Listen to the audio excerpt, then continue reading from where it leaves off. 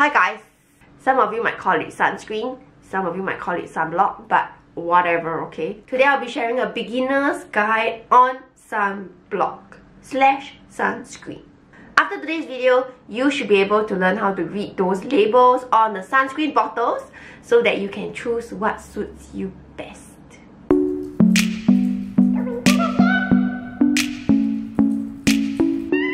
A lot of people don't really understand the importance of sunblock, okay?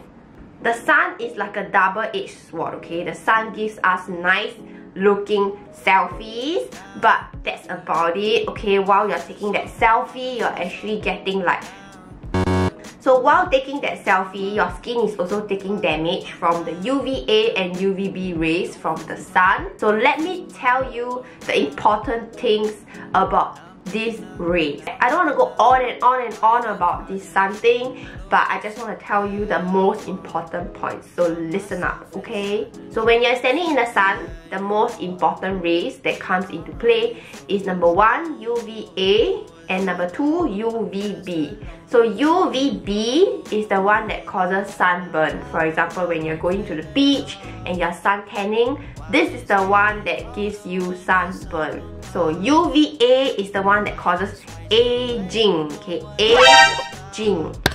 Ouch. Age spots freckles wrinkles many many other things. But yeah these two rays comes together to cause damage to your skin that causes skin cancer. Okay, so please take care of yourself. If you want to look young, if you don't want skin cancer, please use sunblock. Okay, so the perfect and the best sunblock can be really expensive. So make sure that you are choosing one that is protecting you enough and at the same time is within your budget as well. So imagine going down the aisle of like your supermarket or your convenience store and then you see like a row of sunblocks.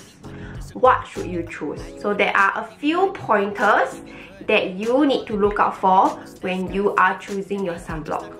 Number one, broad spectrum. Broad spectrum means that you are actually protected from both UVA and UVB rays. Normally on the label of the bottle, you will, you'll be able to see broad spectrum. So some brands don't put broad spectrum in the bottle, but it's in the fine print and in the fine print, they sometimes also rephrase it into protected from UVA and UVB rays. Another pointer, please don't think that you will only get sunburn when you are sun tanning, okay? Sun tanning is a very serious level of burn already and that is what you need to avoid. But if you are looking at like your normal walking out in the sun going out to buy food or like uh, going out to get groceries that is also still a kind of burn but it's so minute that you can't really feel it or you can't really see it. So please get a broad spectrum one number two SPF so SPF is the one that takes care of UVB rays. It protects you from all the harmful burns that you can't see but it's burning you. Yeah i'm sure you guys already know. The higher the number the better.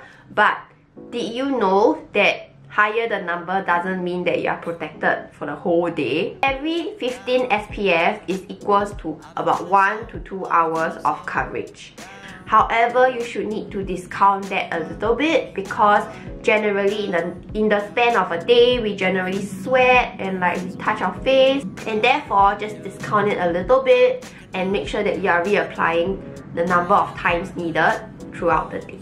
Sunblocks with higher SPF might come out to be more expensive. An alternative for you is to get a smaller SPF and reapply it throughout the day. So for myself, I use a variety of sunblock. So starting from my moisturizer, which is a CC cream, I use uh, a SPF 30. For my foundation, I use SPF 34. And last but not least, I will always do a last spray with SPF 50. So I bring this out with me because it's easy to use, it's not greasy, I don't need to wash my hands after that. I just need to spray it all over again to reapply. But however, if you are looking for something smaller, you can also bring out like something like that. Small sunblock with a good SPF level that you can easily just pump it out and apply on your face. Moving on to the third point. So the third point is looking out for PA. PA is the one that protects you from UVA rays, meaning no wrinkles, no age spots, no freckles, no white spots, dark spots, age spots, whatever, okay? I'm sure you guys have seen all the sunblock bottles in the world. They have a lot of pluses everywhere, okay? So for PA, it starts from PA plus to PA plus plus plus plus. So four pluses, okay? So four pluses is the max plus that we have in the market right now. And of course, the higher the plus, the more expensive it's gonna be. Again, please choose the one that is suitable for your budget. My powerhouse one, this one is a PA plus plus plus plus, four pluses, okay? So this one is the one that I use or as the last layer of protection across my body. And number four, ingredients. When you're looking out for sunblock, please make sure that you are looking out for these ingredients because these ingredients help you to take care of your skin better in the sun. I'm reading off a paper because these names are like just too chemistry. I can't really take it. Okay, so zinc oxide, titanium dioxide, avobenzone, and oxybenzone. So these ingredients are the ones that help to protect your skin better from the UV rays that's coming in on your skin.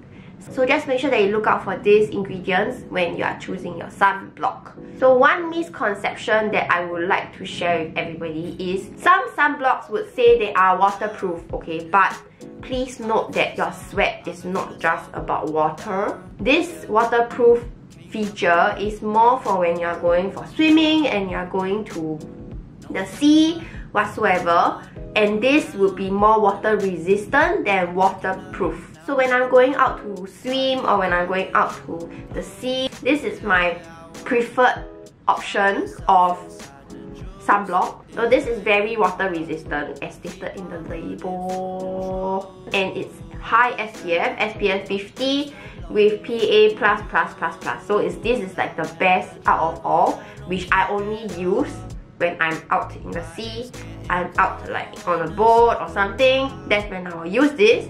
This is like my prized possession of sunblocks. So I don't use this very often. Yeah.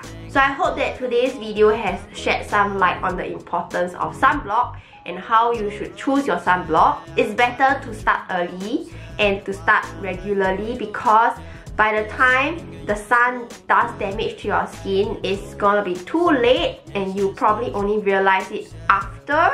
And then after that, when you decide to go to the facial or like the spa or whatever to fix your skin, too late. Okay too late.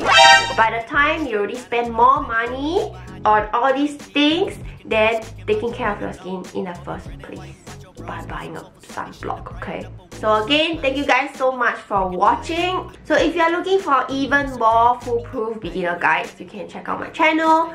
And I upload weekly Asian beauty tips that you can also look out for. Thank you guys for watching and I'll see you guys next week. Bye